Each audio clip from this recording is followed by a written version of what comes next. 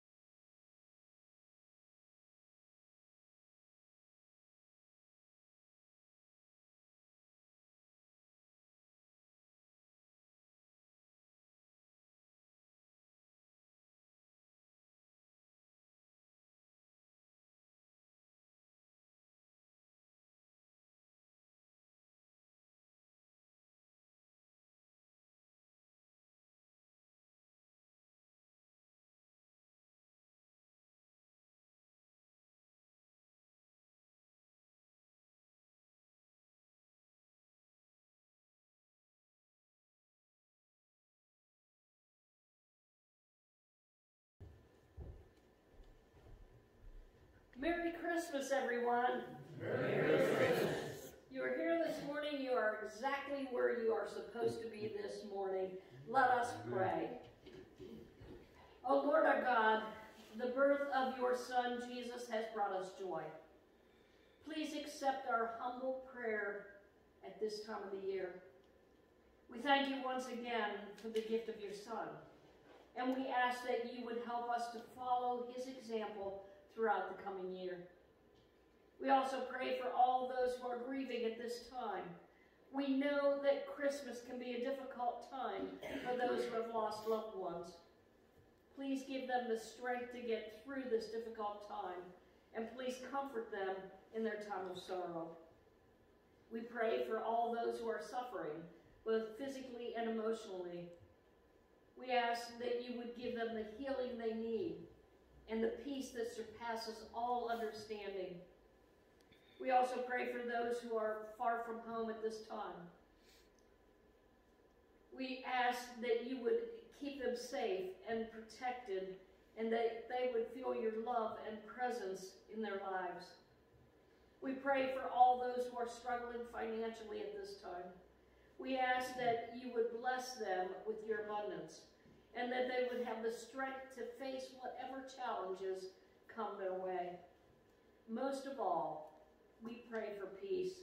We pray that we would live in a world filled with love and understanding, where no one feels alone or abandoned. In Jesus' name, we pray all these things, and all God's children say, Amen. Our hymn of preparation at this time is Angels We Have Heard on High. If you are able, please stand.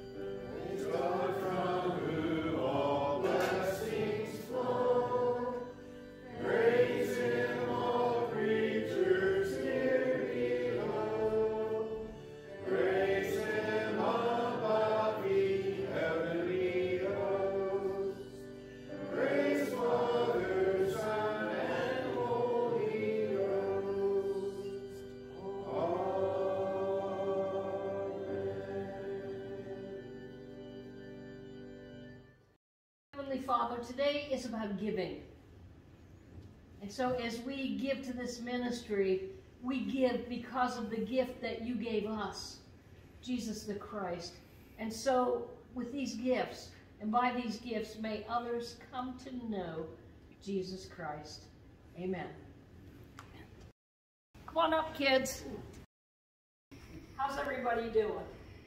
Having a good day so far? Great day so far? Good. That's what I want to hear. And so today I want to talk about good news. Now, if you have good news, how would you let someone know?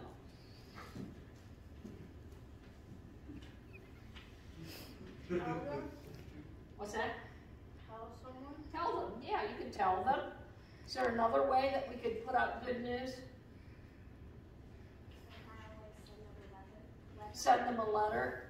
That would take a little while. An email would be quicker, but a letter's okay. Also, uh, we can put it on Facebook. You know, there's lots of ways that we could send out good news. Pick up the phone. Um, last night, uh, Jack and Wendy called, and Jack had really good news. He got a T-Rex from his other grandmother. And he was so excited. I'm not quite sure what Wendy got because he kept pushing her out of the way because he wanted me to know that he got a T-Rex because he loves dinosaurs. So that's another way when you FaceTime someone. So there are lots of ways. Um, also, you can put it put an ad in the newspaper, right? There's so many different ways that we could spread good news. There's another way, and these were put on horses, the jingle bells. And so when the horses would come, if people were getting company, this is not now, this was way back when, when people visited each other with horses, people would hear the jingle bells and then they would know that somebody was coming to visit them. So that was good news usually, wasn't it? That they were coming. But if we look way back when Jesus was born, how did people find out about that? How did Mary find out? Angel. An angel. How did the shepherds find out? An angel. How did Joseph find out? An angel. How did the Magi find out? Um, the star. Well, but the reason this, they knew about the star was because the prophets of old told them. And so as they looked to God's word and the star appeared, then they knew the good news. So I'm going to give each of you a bell. Do you want a red one or a white one? A white one, what about you? White. Here you go. Red, white, white, white. White. Okay. I'll take a red one then. And so with this, every time you look at this, I want you to keep this. Oh, mine do look pretty good. How's yours look? Okay, pretty good. Good, good news. Every time you look at this, I want you to remember the good news we have today. I almost wore my sweatshirt today. I got a new sweatshirt. I debated whether wear, whether or not to wear it, and I didn't. And I a pit manger scene on it, and it said "Best Day Ever." That's today, isn't it? As we celebrate baby Jesus. So when you look at this, remember the good news. I mean, it's nice that we're getting presents today. It's nice that we're being with family and having a meal. All that stuff's nice, but that's not the good news. The good news is Jesus. For under us today, the city of David is born a Savior, Jesus the Christ. So, can you ring your bell and stand up, turn face all of those people, and say, Jesus is born. Jesus is born. Thank you. Let's pray. Heavenly Father, we thank you that we can celebrate this special day. The day that Jesus was born, that's the gift. It's not all the other stuff. Jesus is the gift, and we thank you. Amen. Now, I'm going to give you a gift. It's not the gift, because Jesus is the gift, but I want to give you some Merry Christmas to you. Merry Christmas. Merry Christmas. Okay, you can go back to your seats. Thank you.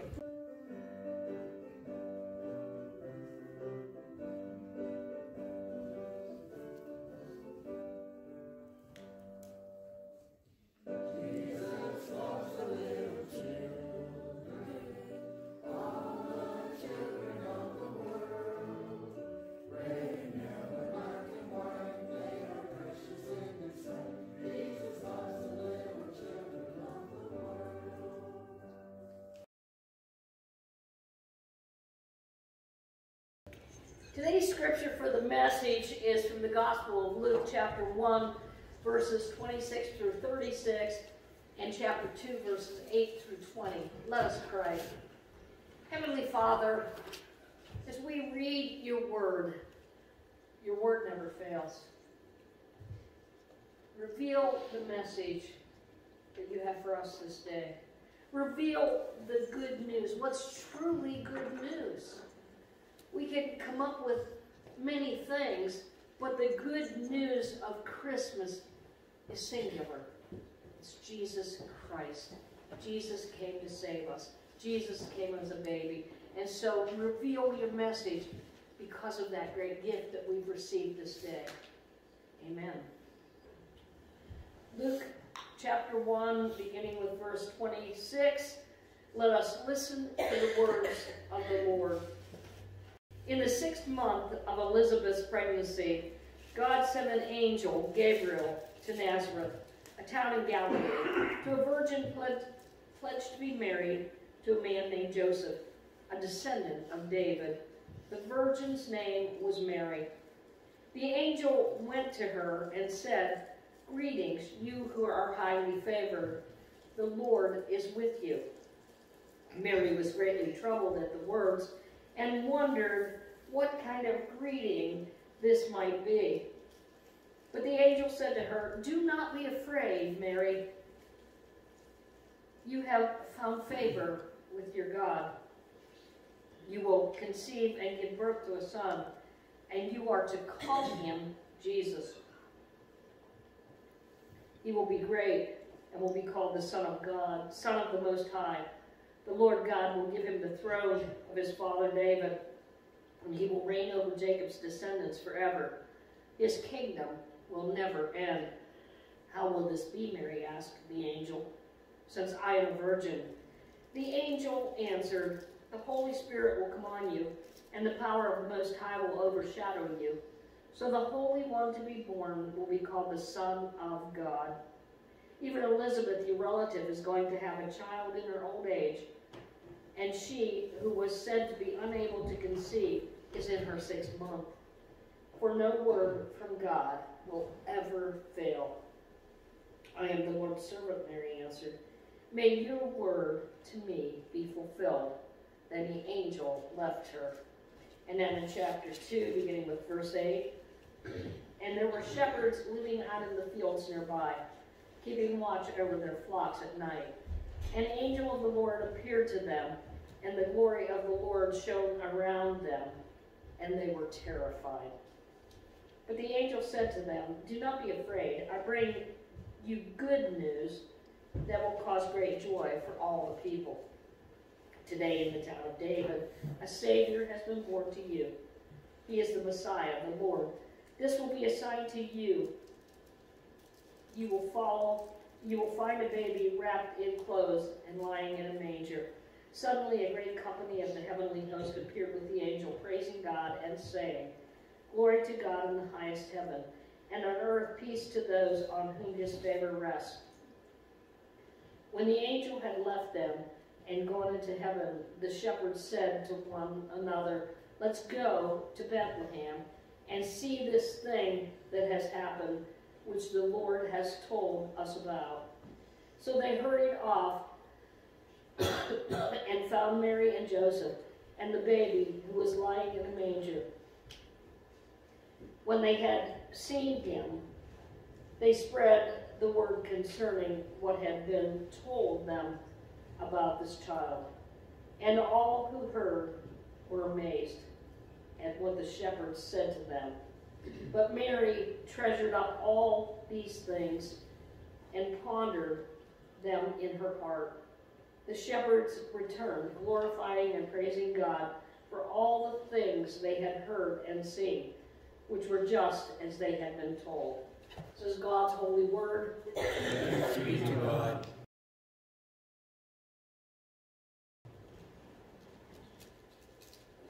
Now, Christmas time was a wonderful time for Sammy.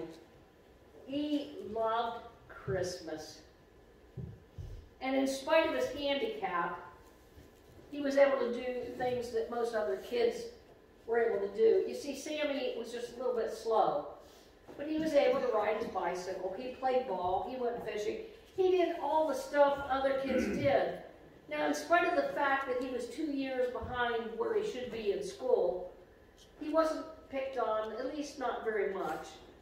Most of the kids were fairly nice to him. Uh, however, every once in a while, he would be called Stupid Sammy. But it didn't really affect him. Either he didn't hear or he chose not to listen. But it was finally Christmas Eve. And as I said before, he loved Christmas. He just loved it.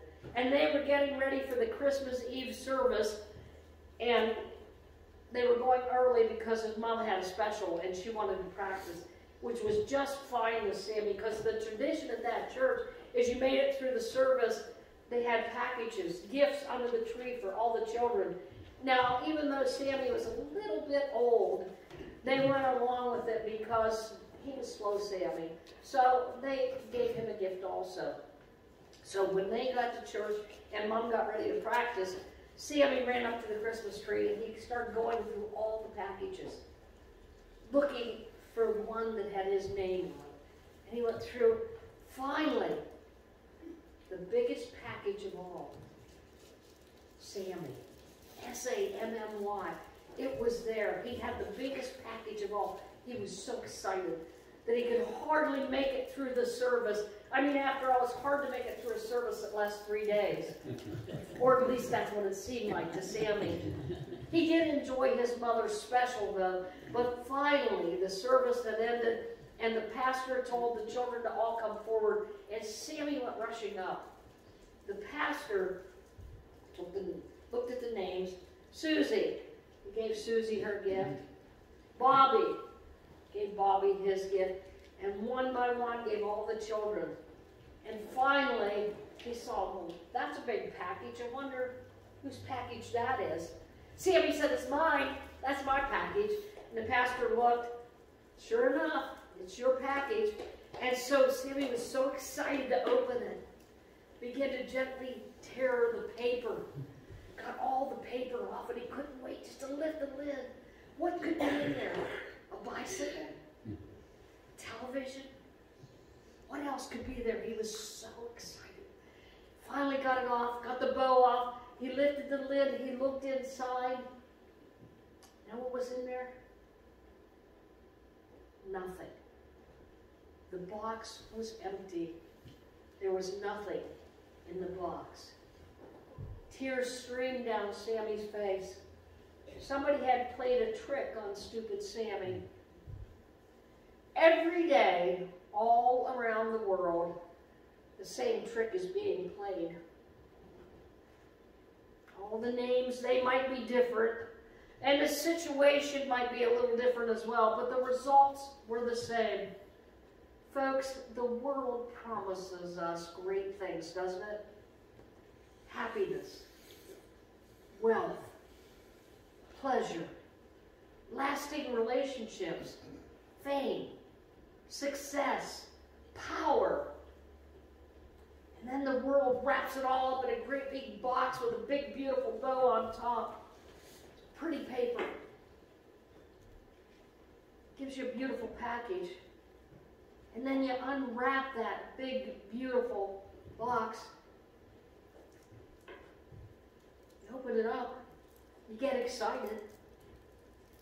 And you look inside. You open it with great expectations. And just like Sammy, all you find is an empty box. No hope, no joy, no happiness, just tears and heartbreak. That's the kind of presents that the world gives. Today, we celebrate Christmas. We celebrate the greatest gift ever given, the only gift you will ever need, a gift so special, so wonderful, God's very own Son, the gift of Jesus. Jesus, what a special gift. And so today, I want to look at that gift that we've been given from God Himself and see just what's so special about this gift. If we look at Luke chapter 1, verses 31, 32, and 35, they say, You are to give him the name Jesus. He will be called the Son of the Most High. The Holy One to be born will be called the Son of God. Jesus is no ordinary present. I mean, he's not even extraordinary. The gift of Jesus is supernatural. The gift of Jesus is one of a kind. It's a unique gift that's never been given before or since. You know, when you're expecting a baby, you take a lot of time, and we talked about this a few weeks ago, or maybe last week, about getting just the right name. Sometimes we name the baby after a loved one. Or we name the baby with a name that has a special meaning, such as Diana, the goddess of love. Jesus was given a special name. The name means Savior. Jesus came to save the world. What is more personal than that, isn't it? He came to save you and he came to save me. Scripture says Jesus was called the Son of the Most High. Jesus was no ordinary gift. It's a special gift. If we look at Luke chapter 1, verse 33, it says, He will reign over the house of Jacob forever. His kingdom will never end. The gift of Jesus, it came with a guarantee, didn't it? Now, if we go shopping or if we buy a car, the first thing they want to know is do you want an extended warranty? And it's going to cost you something, isn't it? And then they always have like a limited warranty on most things. And they're limited to what would never happen or could never happen. Or you get a lifetime warranty. And so 10 years after having the product, it breaks down. So you find out in order to get reimbursed or to get a new new item, you have to have the original receipt, UPC symbol, and if by chance you happen to have both of those after 10 years, it's amazing, first of all, but then you find out the company went out of business. Then you get the bumper to bumper warranty. But Ford wasn't the first to come up with that. God came up with that with Jesus. He was the first to offer the lifetime, not limited warranty, but full warranty, bumper to bumper. Jesus' warranty, warranty, and here it is. It never ends. It never expires. It never, ever runs out. See, it comes with a guarantee. And a guarantee is only as, as good as who it comes from. This guarantee has come from God himself. In Luke chapter 1, verse 35, it says, So the Holy One to be born will be called the Son of God. Jesus is God's only Son. Jesus is special. Jesus is one of a kind. Jesus is holy, perfect, sinless. The only one that had the power to save the sins of the world. The only one that had the power to forgive sins. Now, Steve Hugo told this story about growing up. He said he lived next to Old Man Jones. And he said he played tricks, some awful tricks on old man Jones all the time while he was growing up. He remembers on April 1st, he would always get a brown bag and fill it with dog poop, set it on fire on old man Jones's porch. But old man Jones was too smart to come out and stomp on it. But he still had a terrible, terrible mess to clean up, didn't he? And old man Jones would look at Steve because he knew who did it. And without anger in his voice, he'd say, Someday you'll be sorry. And in the wintertime, when we, he'd get a heavy snow, Steve would go out and he'd shovel out his driveway. And where would he shovel it to? Right to the driveway next to him, in old man Jones's driveway. And one year, a big snowstorm was supposed to come, and there was sitting was a snowblower. Had a tag on it to Steve. I think you can use this. So what did he do with it? He made extra wide, even went in the yard some, so he could even blow more snow over to old man Jones's house. And old man, old man Jones, he just looked and he said, without anger in his voice, someday you'll be sorry. Over the years, Steve keyed his car.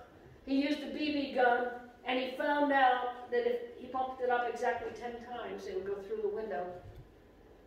And in Old Man Jones's house, all the windows had been broken. The siding, which was aluminum, was all dented up from the BB gun. And Old Man Jones would go, without anger in his voice, someday you'll be sorry. But Steve didn't stop there. He shot at the bird feeders, and he even shot a lot of sparrows. And he, looking back, remembered how gently old man Jones would come out and gather that little dead bird up and go bury it with such compassion. He said, someday, with no anger in his voice, someday you'll be sorry. The plastic manger at Christmas time, it had holes all through it. Now, at Christmas time also, Steve's mom was an alcoholic, so she usually lay drunk Christmas Eve. But every Christmas morning, there were packages there. Now, his mom didn't talk to his her dad, which would be Steve's grandfather, but uh, Steve was sure that's where the packages were coming from. And he wanted so much to meet his grandfather, at least just get to see what he looked like. So he decided to get up very early Christmas morning and wait. And he sat there on the steps until finally he heard someone coming up onto the porch. And he went over and slowly opened the door and he peeked out. But all he could see were packages that all had his name on, someone carrying them. And all of a sudden, the man set down the packages and stood up. And there was an old man Jones. And Steve said old man Jones was right. He was sorry. He was sorry. Let's look at verses, or verse 10 in chapter 2. I bring you good news of great joy that will be for all people. The gift of Jesus is so special. And it comes with a guarantee. It's one of a kind, and it's for everyone. Jesus is saying to us this day, accept the gift of salvation that I offer you. And with no anger in his voice whatsoever, he's saying, I accept the gift, or someday you'll be sorry. Jesus didn't come to earth as a man so that we could have another holiday, so that everybody but FedEx could have today off. it's true. He didn't come so that the retail stores would make lots and lots of money. He came so that someday we will be able to stand before God and not have to say we are sorry. This is God's gift on that first Christmas. And that's the gift that he still has for us this day. Let's pray. Heavenly Father, thank you just isn't enough. There are no words to express what this gift means, how great this gift is. We're so thankful this day that we're here together as a family, the family that you've given us, by the way,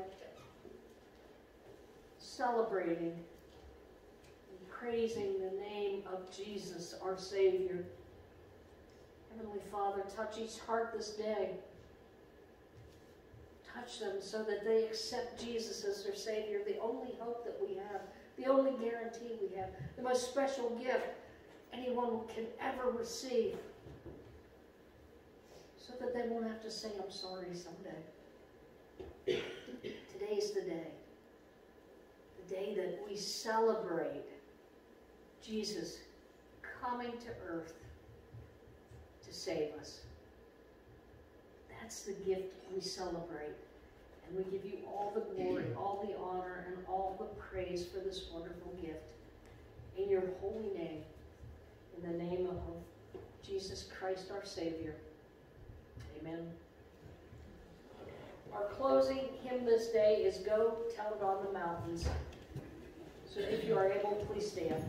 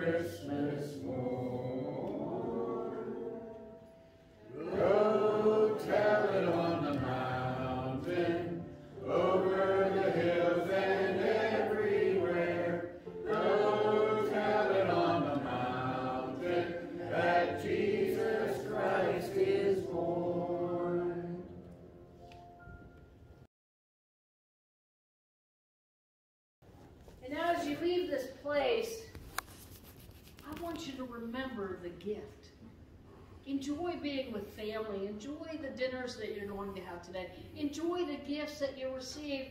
But remember, that's not what today is all about. Today is about the gift. The gift of Jesus Christ, our Savior.